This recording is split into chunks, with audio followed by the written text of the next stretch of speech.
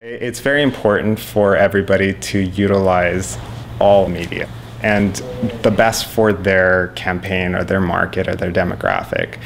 Uh, it, print is still very strong and we need it if you you can't go outside without seeing an advertisement that's not on a printed piece and nowadays you can't go outside without seeing a digital piece. You, we, we interact with all types of medias every day. There's still billboards, there's still newspapers, there's still magazines being printed, and there's a reason why they're being printed because they still work.